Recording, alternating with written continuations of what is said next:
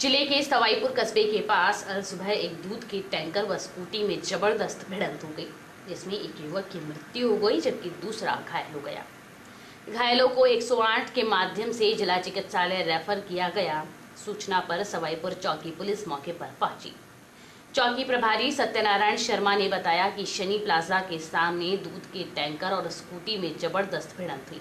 जिसमें चेतन पिता, भेरू माली व राजू पिता, देवी माली, बंगला का खेड़ा निवासी बनेड़ा घायल हो गए घायल को 108 एंबुलेंस के माध्यम से जिला चिकित्सालय रेफर किया गया, जहाँ डॉक्टरों ने उस राजू को मृत घोषित कर दिया। स्कूटी सवार हलवाई का कार्य करते हैं। हादसे की सूचना मिलते ही बगला का खेड़ा गाँव में शोक की लहर छा गई। वहीं लोगों ने बताया कि टैंकर चालक की वजह से सूझबूझ से एक बड़ा हादसा होने से टल गया, क्योंकि टैंकर अनियंत्रित होकर सड़क किनारे लगे ट्रांसफार्मर से टकराने से बाल बाल बच गया।